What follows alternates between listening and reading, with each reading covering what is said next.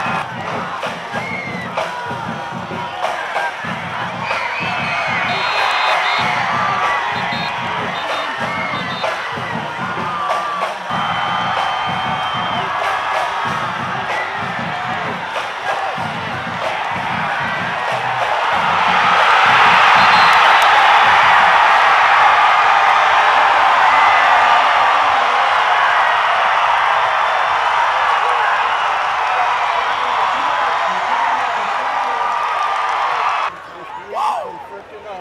Good job,